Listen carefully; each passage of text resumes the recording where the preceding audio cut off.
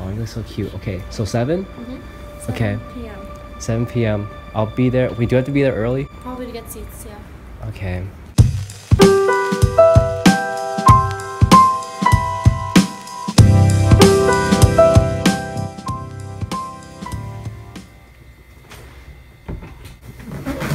I feel like I haven't made a vlog of me at Virginia Tech in a long time. Basically, after spending time with my brother at JMU, I just spent a lot of time with my family. You miss me? You miss me, mommy? Why not? Look, he missed me. Oh. And then they eventually just took me back. Bye bye. Bye bye, May. Bye, Clive. Bye, Bear. Bye, Ball. Bye. I didn't think that I missed my family that much until they picked me up. As soon as I saw them, and then just as soon as they just ran out of the car and just said hi to my brother and I, to me that just I don't know, it just it brought back this reminiscent feeling inside me that I didn't think was still there. After they dropped me off at Virginia Tech, bye bye. Bye bye. Bye bye. I've just been hanging out here for about like a week and a half. I worked on that last video for a good week because I wanted to honor the memory of those 32 lost as much as possible. Hopefully I was able to do that in the brightest light possible for them because I truly feel like they deserve the best. This coming weekend, I'm actually supposed to go to VCU, which is Virginia Commonwealth University. There's no specific reason why I'm going. I just, I've never been, plus it just sounds like a lot of fun to visit, so I just thought why not. Other than that, I just, I really have to go to class now.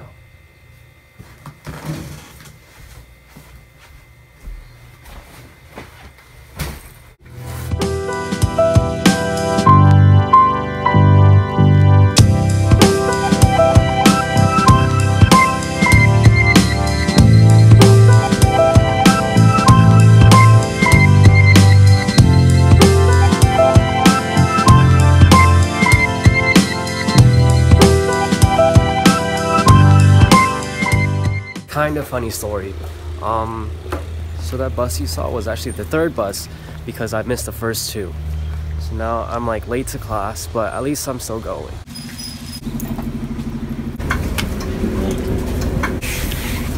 Thank you.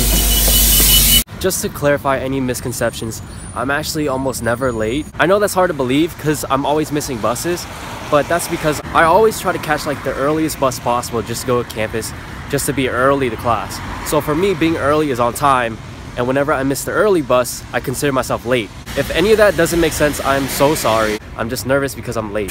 The reason why I'm almost never late is because I just really don't like that feeling of when you walk into class and then everyone's just staring at you because they're just distracted by all the noise and everything. So yeah, I'll just talk to you guys after class.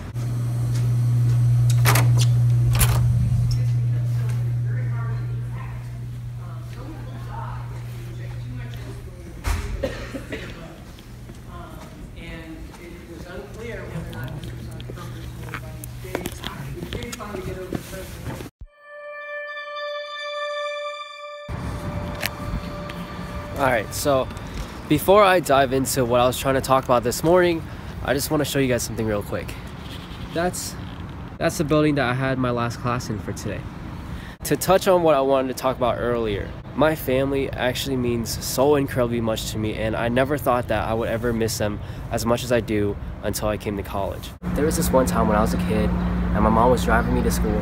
Right before we entered the highway, my mom and I got in a huge argument and I completely cussed her out and I yelled at her. Being the smart, brilliant, intelligent kid that I was, I unbuckled my seatbelt, I unlocked the door, and I just jumped out the passenger door. My mom had to keep driving, obviously, because she was about to enter the highway. That's when I realized that I was just being a complete idiot and that I was just being the biggest child ever.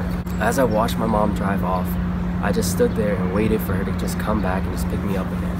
In those like five, ten minutes I was waiting for my mom, that's when I just kept thinking about all the times that I've like mistreated my mom or that I just took my mom and my parents for granted. Now, after five to ten minutes, my mom came back, she picked me up, and then we just kept driving to school. I did this when I was about a sophomore in high school. I guess I just wanted to show mostly my brothers, but also you guys, that regardless of however you're feeling about your family now, once you're put into a situation where you live a life without your family, it actually changes perspectives a lot. For me, at least, it made me appreciate my family so much more. It made me realize that a life without my family isn't what I want at all. The point I'm trying to stress here is that regardless of how annoying your family might be, at the end of the day, you wouldn't want anyone else annoying you. Appreciate your family at least a little bit more. What do you think?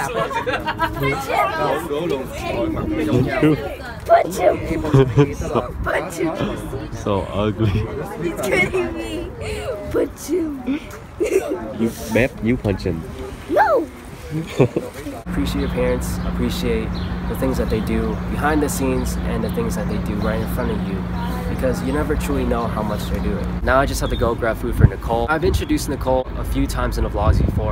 Um, can I get coffee? Bye Nicole. Hi. Did you have any final remarks? Um, I love Triet. Hopefully you guys still remember her. If not, then I totally understand because she hasn't appeared in the vlogs for so long. A couple days ago, she sprained her foot and I'm not gonna tell you exactly how she sprained it. I'm gonna let her do that herself. But the thing is, I'm really worried about her because she actually has a dance performance tomorrow. And knowing her, she's still gonna dance tomorrow even though her foot hurts. I'm gonna try to deliver food to her today and I'm gonna check up on her, see how she's doing. Hopefully she's okay, hopefully everything's healed up and hopefully it doesn't hurt as much anymore because, I mean, knowing her, she's definitely not gonna sit out. So it would hurt me to see her in pain while she's dancing tomorrow. I just have to go pick up food for Nicole.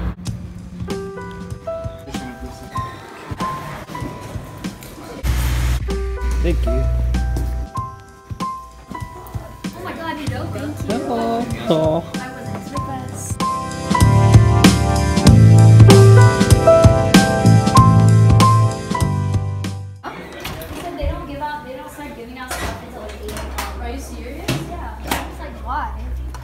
Contrary to what I told you guys this morning, I was actually like about an hour late to the meeting, so I came right as it ended. But I still ran to Nicole. Look, okay, so that's Nicole, Hi. and that's Christine. So I told you guys that I would save the story as to, I would save the story as to what happened to Nicole's foot up to her. And so Nicole, you want to tell them? It's so embarrassing. I was walking to my bus stop Yeah. and there's a hole in the grass that I didn't see and I fell and I twisted my foot. And now I'm You're- broken. Oh god, someone's getting killed. Is your foot better though? Yeah, it's so much better. Can you actually dance or are you lying to me? You're lying. I'm dancing nonetheless. Oh, I hate. I hate. So that's so dangerous. Aw. Fine. I just realized that I didn't explain that Christine and Nicole actually had a meeting. I came in late by about an hour, and that's when I ran into Nicole.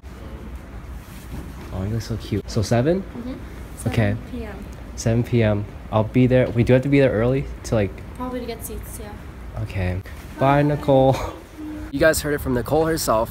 The performance that she has is tomorrow at 7, which means that I have to get home, edit this vlog as soon as I can, post it as early as I can, and then hopefully be able to have enough storage in order to film for tomorrow for another potential vlog. I'm not going to guarantee anything because, like I've said before, I'm not a daily vlogger, but for Nicole and for her performance, this will definitely be worth the all-nighter I'm about to pull. This car about to hit me. I think that's where I'm gonna end the vlog for today. Thank you so much for watching. And as always, it's been a treat.